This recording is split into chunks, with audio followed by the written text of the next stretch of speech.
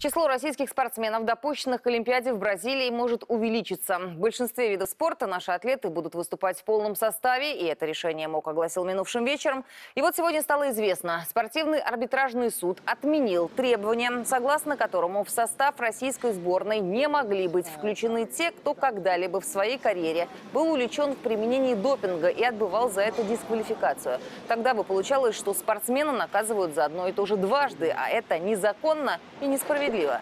Так что теперь шанс выступить на Олимпиаде получили, в частности, наши грибцы Иван Подшивалов и Анастасия Корабельщикова, плавчиха Юлия Ефимова и еще несколько спортсменов. Но окончательное решение, опять же, за спецкомиссией МОК. Из Бразилии репортаж Антона Вольского. Юлия Ефимова признается, что прошедшие месяцы были самыми сложными в ее жизни. Такого эмоционального напряжения не было ни перед одними соревнованиями. Даже на радость сил уже не осталось. Я замучилась. Ну, вы понимаете, сколько это все длилось. До самого последнего это все, ну, они тянули. Сил мало, но злости много. У меня получается, в принципе, с самого февраля, вот как это все объявили, и оно шло, потом сказали, все, все, опровергли, там, оправдали меня, все нормально, едешь, потом не едешь, потом опять едешь, потом не едешь. И вот до сих пор, то есть уже все, завтра начинаются Олимпийские игры, а мне сегодня вечером сказали, что я еду. Но это издевательство, конечно, за рамки просто выходящего. Вот кадры первой тренировки Юлии Ефимовой в Рио-де-Жанейро. Пока арбитражный суд тянул с ответом, спортсменка не теряла времени. Нашла бассейн и начала тренироваться. Но уже сегодня она переезжает в Олимпийскую деревню. Первое соревнование в это воскресенье. Допуск российской чемпионки стал возможен после того, как накануне поздно вечером спортивный арбитражный суд признал незаконным решение МОК о так называемой двойной ответственности российских спортсменов. Согласно этому требованию от Олимпиады отстранялись те атлеты, которые хоть раз попадались на допинге. Это не только Юлия Ефимова, но и борец Виктор Лебедев, а также еще порядка 10 атлетов из разных видов спорта, которые теперь благодаря созданному прецеденту получили надежду на то, чтобы выступить в Рио. Впрочем, всех оправданных судом еще должна утвердить специальная комиссия МОК. Но уже сейчас можно сказать, что у нашей сборной наконец появился повод для радости. Ведь введенное правило двойной ответственности было откровенно дискриминационным, направленным только на российских спортсменов. Атлеты из других стран с погашенными дисквалификациями были допущены до игр. Сегодняшний результат вы расцениваете как победу?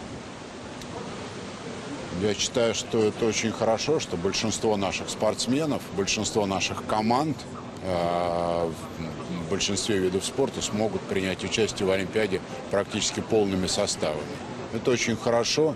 И э, то, что наши спортсмены прошли вот такую дополнительную проверку. В общей сложности российская сборная на Олимпиаде теперь состоит из 271 человека. Без потерь в полном составе на играх будут представлены команды по бадминтону, боксу, велоспорт горный и BMX, женская сборная по водному полу и гандболу, волейбол, гольф, грибной слалом, дзюдо, конный и парусный спорт, настольный теннис, прыжки в воду и на батуте, синхронное плавание, женская команда по вольной и греко-римской борьбе, спортивная гимнастика, стрельба стендовая, пулевая и из лука, теннис, триатлон, тэквондо, фехтование и художественная гимнастика. Наибольшие потери понесла легкая атлетика. Там из всей сборной допущена только прыгунья Дарья Клишина. Затем идет академическая гребля, 4 из 28 спортсменов, 8 из 14 гребцов на каяках и каноэ, в велоспорте на треке 4 из 9 спортсменов и в пятиборье допущены трое из 4.